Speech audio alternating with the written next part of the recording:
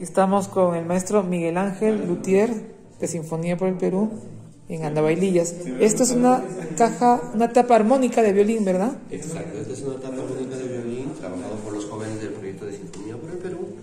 Y bueno, como ven, tiene todas las características de una tapa formal de violín. Eh, tiene su, su, pequeño filete infiltrado. Este, este filete son laminillas muy delgadas de especies maderables son dos filetes de una madera oscura, que es en este caso un nogal, y, y una de, de, una madera blanca como un pinito. ¿Esta filete negro es una madera? Son maderitas que se, se encastran o se pone en, en, unos canalitos que venimos trabajando que se va cortando manualmente y se, se incrusta con un pegamento o una cola animal. Ah, qué interesante. Yo pensaba que era dibujado.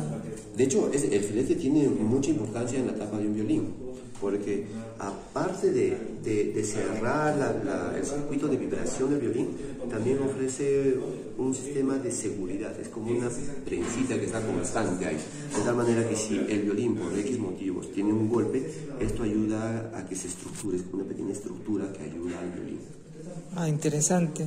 Y esto, claro, esto ya es eh, un proceso más avanzado de los chicos, porque los chicos eh, empiezan con un proceso como la guitarra, charango, y después ya empiezan a hacer lo que es el violín, porque el violín ya obedece a otro, otro, otro criterio como es la talla, ¿no? Hay que tallar conservando algunas curvaturas, y después hay que tallar la parte posterior conservando los espesores, ¿no?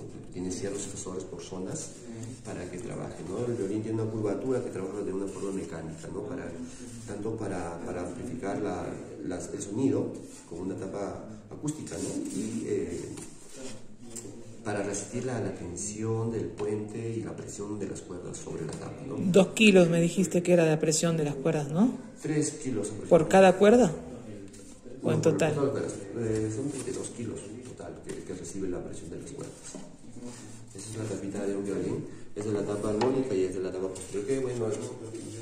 algún chico no terminó de hacerlo y todavía falta tallar la parte posterior, ¿no? Sacar los espesores. Bueno, esto es parte del proyecto. Acá también tiene su incrustación en. La tapita. En este caso lo que estamos usando son materiales, eh, un poco que podemos conseguir acá, maderas uh, locales. No son las maderas ideales para un instrumento, pero en densidades tienen las mismas características, ¿no? Estamos usando, por ejemplo, eh, madera caoba para la tapa posterior y, y las laterales y caoba para el brazo y este sí es un pino, un abeto, coníferas que le responden muy bien y bueno, ahí están los. Muchas gracias por la explicación.